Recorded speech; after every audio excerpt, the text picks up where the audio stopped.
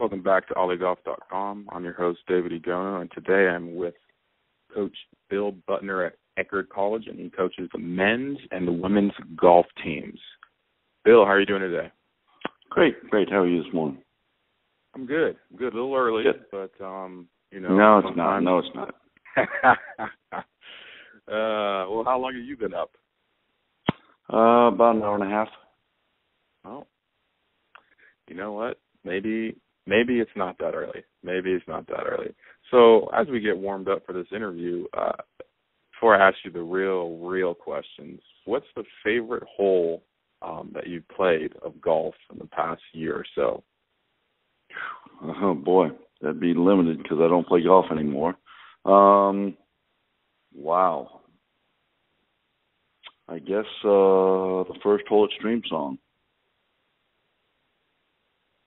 Okay. Um, Why? Obviously, it's well, Streamsong. I don't know if you know Streamsong is the newest, uh, latest, greatest one of those Coore designs that uh, is made out of a, a old uh, mine, and it's one of the most unique pieces of land, similar to Pebble Beach, similar to uh, a lot of the great course courses, and it's uh, just standing on top of the hill, you know, looking over the golf course. It's just magnificent.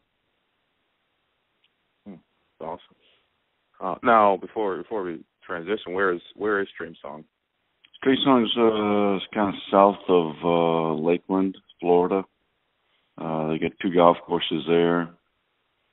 Um, it, it's one of the top, probably, whatever. I think it's in the top 20 of the new modern golf courses that came out last week.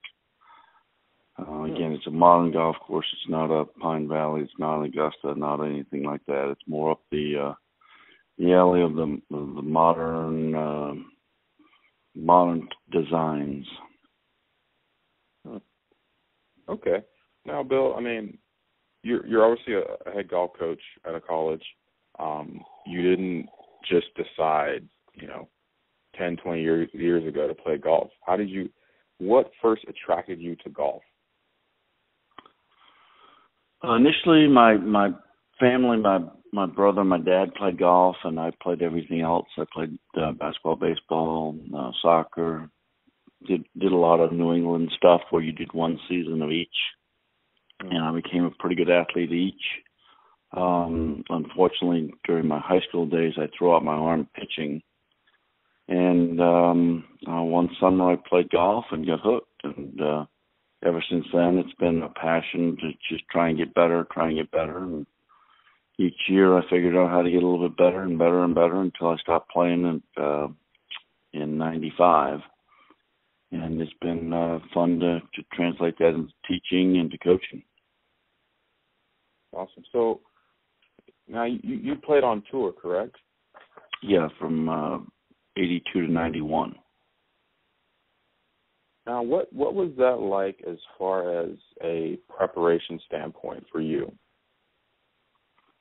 Well, it was the ultimate. You had to get physically, mentally, emotionally ready to play, and, and each time, each day, each event, you tried to figure out how to get enough sleep, how to get the right foods, how to get, you know, stay positive, uh, twist things that were, you know, kind of bad in your life, whether it be a, missed reservation at a hotel. When you travel so much, you just uh, there's always things on the road that just are upsetting, and uh, at the same time, you have a home life too that you're trying to keep at peace, and that's uh, putting all those pieces together is is one of the hardest parts. I think um, you see it throughout. Uh, good athletes have um, good, stable, um, as they say, teams that work with them, and, and and your goal is to stay positive as a team and and you know pursue forward even though you have bumps along the road.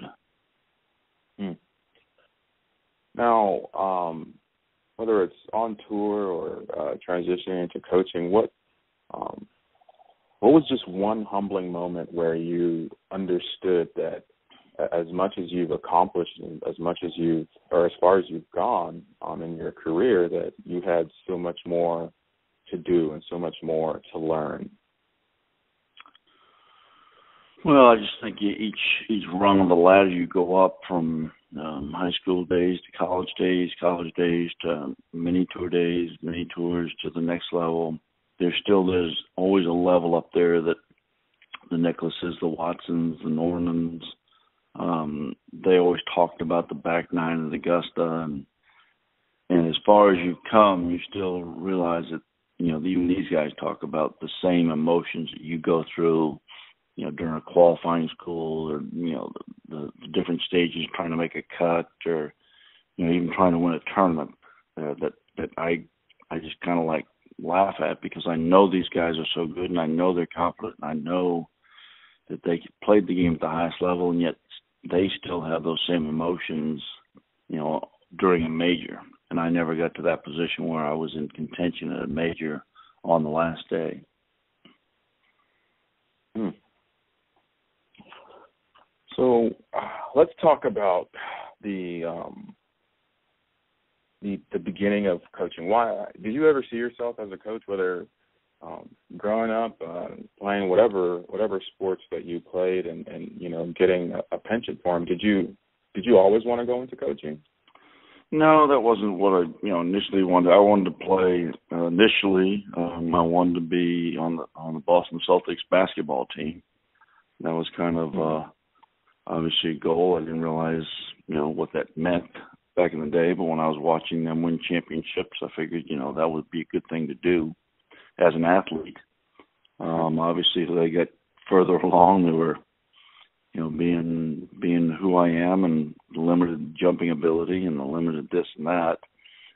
Um, I I played pretty good high school basketball, but that was, and again, I went to North Carolina to um, you know, think about playing basketball there, which I didn't realize how good they were coming out of a small town in Massachusetts. But um, as I as I pursued athletics, I enjoyed being around the you know the coaches, being around the teams, and eventually I turned um, after my playing days in North Carolina. I I was able to uh, coach one year as an assistant coach uh, and that was rewarding. I, I really enjoyed kind of passing information along and trying to guide kids along, but I had the desire to play, so instead of going into coaching, I went to the playing side. And then I knew once I stopped playing that that would be a great avenue, whether it be the club pro rank side or the coaching side. I think either one of those would have been right up my alley, trying to promote golf through either a facility or through a program and uh, I started to go towards the, the club pro side, but that uh, during you know just post 9/11 was a really bad situation in our area. So um, a a, um, a coaching position came open, and uh, I went in that direction. Now at Eckerd, you coach the men and the women's teams, right? I do now. Initially, it was just a men's program, and about four years into it, five years into it, I started the women's program. So I have both of them now. So, uh, without getting too uh, in depth, if you will, um, what are some of the challenges of? Well, let, let's let's start high level. Um, I mean, what does it take to run a men's team and a women's team? I mean, just day to day what what is your day like? Is it just haywire, or is it are you more of a systematic, um, pragmatic type of guy? Well, for our program, it's chaotic because of the fact that we don't have um, we don't have athletic scholarshiping, so therefore I don't pick my players. I, I get what I get from the students side of it. Um, so they're not as motivated as I would like to see them. Um, also the fact that uh, we don't have a home golf course as like a, a Division One program would have. So getting them on the golf course is another challenge. So the day starts out with workouts in the morning, one team or the other at 7 a.m. and and you know they they practice through around their academic schedule. So some people practice at 7:30, 8 o'clock in the morning. Some people practice at noon. Some people practice at two. Some people practice at five uh, those that can play in the afternoon will play. So I'm always either working with a team or organizing the daily who's going to play routine, um, and always kind of at their you know service whenever they need uh, need questions concerning academics, personal life, or uh, golf. So it, it, every day is kind of a new challenge. Every day is a new situation. There are fun days that actually flow, um, but they're far and few between. Hmm. Now, if I read correctly, you guys won the last tournament that you played in, correct? No. No? I've only won one event in uh, our collegiate that was about uh, eight, seven, eight years ago. Hmm. So, what are some of the challenges of uh, just, I mean, to be very, very honest, um, on an emotional level of just, like you said, you don't get to pick your players, but that doesn't mean that you're not invested day in, day out in their success. And, and I mean, let's not even talk about success, but more so their growth. Um, what is it like just because I would I would argue that in other sports, whether it be baseball or basketball or football, what have you, there's more of a um, let's just say direct output. Like there's or there's fruit from um, your your work ethic and your um, your, your your approach to getting better. With golf, it's not always that obvious. You know, there's there's a journey, um, there's a process that takes time to um, go from your your mind to your game. Um, so, what is it like just trying to, um, you know, usher these young men and women into the game of golf that I mean can be brutal at times, like you said. I mean, I mistakenly said that you guys won. Um, you know, how how how is that that communication for you?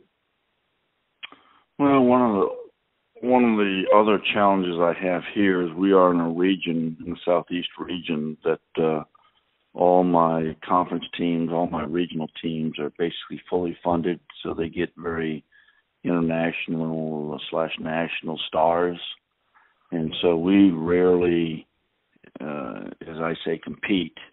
Uh, competing means we come down in the last so so holes with a chance to win. We we haven't done that except for once, like I said, and uh, I learned long ago that um, it's very hard to compete when you've got you know five of my number ones against your your team that um, is made up of very very good players. So I've, I've kind of changed the direction from really trying to compete as a team is trying to get more of a personal growth out of each of the the players and understand that you know to go from point A to point B is the goal now.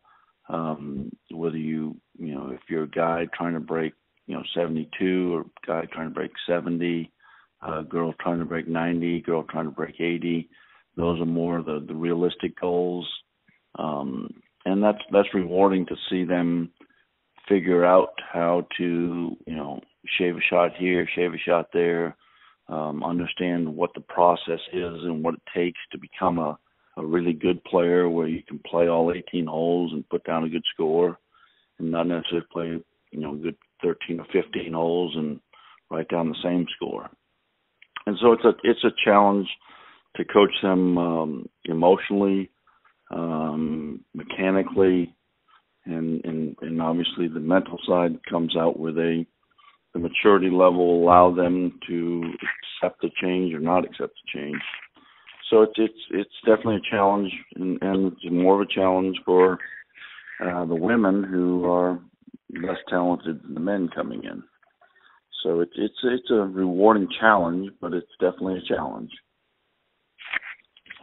Oh, um, and, and that's I mean that's the truth. I, I know for me, I I didn't play golf in college. I played football in college, and I actually played in junior college and then Division One. And I'm laughing because it's just it's, it's hilarious. But one of the hardest things for me to grasp um, playing uh, in the defensive secondary was just all the different coverages and how um, just how important it is to know the very smallest details in these coverages. I mean, coming from junior college, it's like, I mean, honestly, uh, you just you fend for yourself, and it works out how it works out.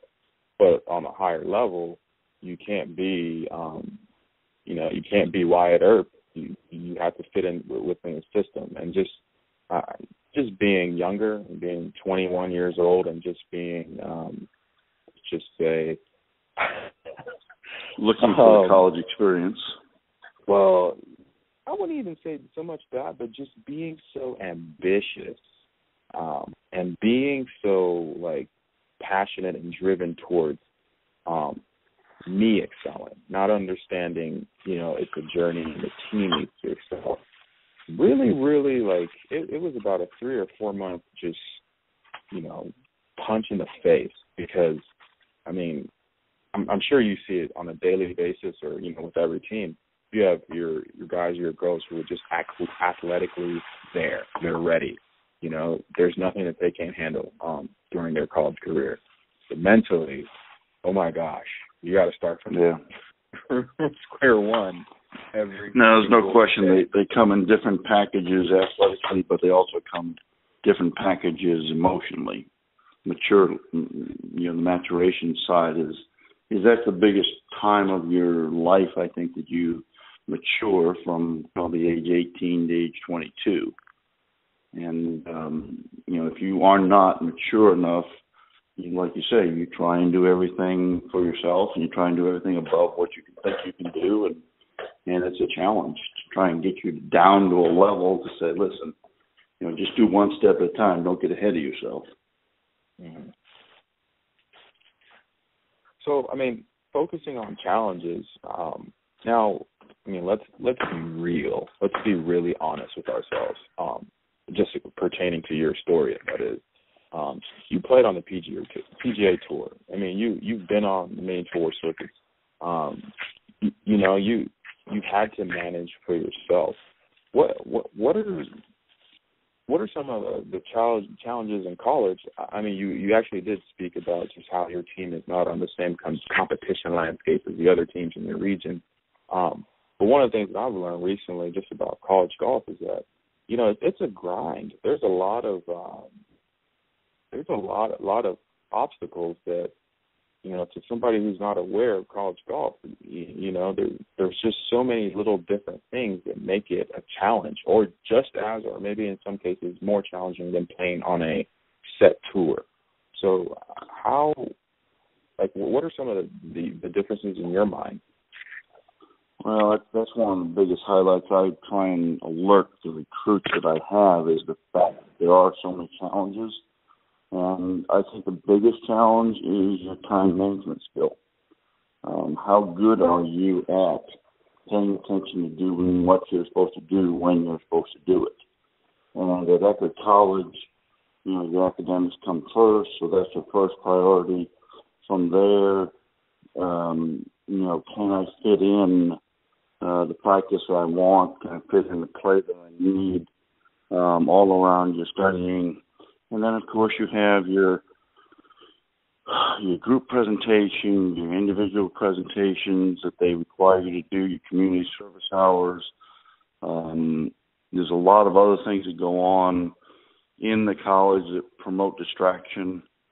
And then, of course, you know, we're at the beach. We um, have a beach on on campus, and so you know, for the guys, it's you know you know, not chasing the girls as much. Um, there's parties all the time. Obviously, lack of sleep plays a big role in it because you don't always sleep the way you do during the summertime. Um, and then the girls, you know, they want their tans and this, that, and the other, and it, it's a challenge from from their perspective to to you know stay uh, pay attention to what you're trying to do when you're trying to do it, and and the best success that I've had with these kids or these student athletes is is those that are so disciplined they do what they want to do. They and they get total college experience and yet their golf game you know comes to the forefront. So i'm convinced it can be done. Oh totally. Totally. Now um just as a as a parallel um pre-interview process um, I asked you about uh, if you've ran any businesses, and you said you ran an S corp. What was that? Uh, what, what, bringing bringing what you've done in golf, whether it be a, as a player and now as a coach, but also running a business. What are some um, things that you, uh, besides you know time management and discipline, that you try to impress upon you know your your student athletes, just coming from um, the business world, if you will? Well, you know, again, we are not with a tremendous amount of uh, financial support without, uh, you know, the the um, the funds for scholarshiping. We are limited with funds with, um, you know, with uniforms and, and your budgetary stuff. So within the framework of your budget, you're always trying to figure out how to get the most bang out of your buck and try and figure out you know what terms you can play in, what terms you can afford. Uh, obviously, we don't fly anywhere. We don't need to, but uh, it'd be nice to take them somewhere to experience a Pinehurst or a, a Northern course or whatever. But you know, we stay within the framework of our budget and play as much as we can, try and get the most bang out of our buck for for for what we have to deal with. So it, it's a challenge all around. So, um, what, um, speaking specifically about Eckerd and just whether it's the rest of the season or, or you know, preparing for uh, the fall season, what are some of your um, building blocks or, um, dare I say, uh, mild expectations um, as you as you sort of finish out the spring season here and, and, prepare for the summer, what are some of the things that you're trying to get your uh, your athletes to uh, conceptualize and uh, to own going into the summer? Well, I think that you know you're always trying to to teach uh, team chemistry. You're always trying to teach team bonding. You're always trying to do things as a team to kind of have the support system that each player needs on and off the golf course and um that's not always a easiest thing is a lot of the kids come from different backgrounds and you know it's all about me attitude and and to try and get them to to kind of help one another and to lift one another up. And you know the game is tough on a day to day basis and without uh without uh, team chemistry problems um i it, our goals are always to try and get better each day and trying to trying to get ready for postseason play. That's you know most every team is looking for postseason, and for us it's an extremely big challenge because you know, our region is full of the top ten in the country, and and uh, we don't we don't supply the team with top ten um, stuff, so we have to overcome certain disadvantages to become one of those top ten so that's that's usually the challenge, and the best way to do it is to to to let them know that each none of them has to work individually on their weaknesses and and get their weaknesses down, get their their scoring where you know you don't ever make a double bogey. You try to limit your bogeys. You you're always working from the the high score down rather than the low score up. You're not trying to mm. shoot 64. You're always trying to not shoot 675. Mm-hmm. So you you're trying to get the concept, and that's the hardest part is they don't understand how to shoot 74 from the idea of hitting, you know, playing safe, playing conservative or middle of fairways or away from you know pins or away from this. Uh, they they're used to firing, firing, firing, and the more they fire, the more trouble they bring into play, and the more challenges they bring to themselves, which that's that's the biggest goal, trying to get them to individually understand how to play golf. Hmm. Yeah, I could see that being, um, you know, like we said before, it's just. I imagine you're not the only coach that has that uh, that burden, but it's definitely um, just with that age group and just having to, um, you know, have team goals. It's just uh, I mean, and that, that that can be daunting, I bet. Um, so, my last question for you is uh, fairly straightforward, and I know you've given you've given us um, some great points just about time management and you know building a team around you and managing your emotions. Um, besides that, is there a, a, specific mindset or dare I say a, a secret sauce to just um, not just your success, um, but um, others, other successful people in golf um, that you've seen time and time again be able to carry them out of, say, the bunker or just low points in their life? Well, I think uh, you you know I've been around the Tom Watsons, the Greg Normans, and and there's there's an air of, of confidence, uh, of positivity that uh, everybody you know the the guys on tour that were very negative kind of were shunned upon. Nobody wanted to be around negativity, and and whether it be in life or in golf, it's the same thing. I think you want to figure out how each um, step of the process is an opportunity. Each step of the way in a golf round is an opportunity. Um, and yeah, we can all dwell on things that we, you know, the bad breaks we took, or the bad this, or the change of our lives, or the change of the round. But the, the great players learn to to use them as opportunities, springboards to you know, after you shoot 42 in the backs on the front side, you know, tell yourself this is going to be the greatest round I've ever shot to shoot on the par for the for the 18 holes and and go out with a positive attitude, even though you can look back and say you three putted three times and da da da da, hit the cart path one out of bounds, whatever you know. And that's that's the hardest thing I think. The the, the ego side of the thing um, always tends to go backwards and point the finger and blame and everything. And um, you know that the most successful people have have, have put the the bad things in their life and, and turned them into positive and kept a positive attitude and, and surround themselves with positive people and um so you know that that's the one thing I think that uh I've seen in my career is to how champions are champions they, they do the right things and and think the right thoughts. Hmm. Yeah, that's you know, I, I mean, I think you made a great point about we just naturally um our egos and emotions naturally go backwards. I mean, it's it is a skill, and I'm saying this uh, from somebody who had to build it within himself. It is a skill um, to be able to um, to fail. Let's be honest, to be to, to fail, whether on a minute level or you know a more open level, public level, and say, well, this is an opportunity to do this. This this allows me to learn this more. You know, it's right.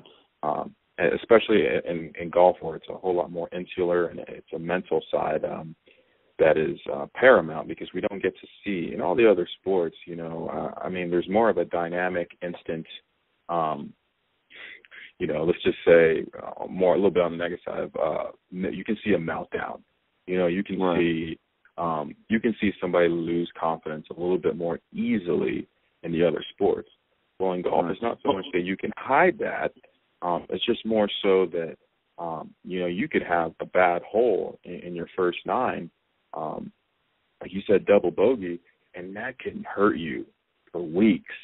You know, uh, where, whereas in other sports, you know, you can you can get fouled and go to the free throw line and you know regain your jumper and you know do all these other little things and it you know it, it's just it's so so um important to be positive. I, I right. totally totally see, that. You, and especially see it, you know, March Madness here where it's a win or go home kind of thing where the officials alter your state of mind. Um, your free throws, you've let the team down.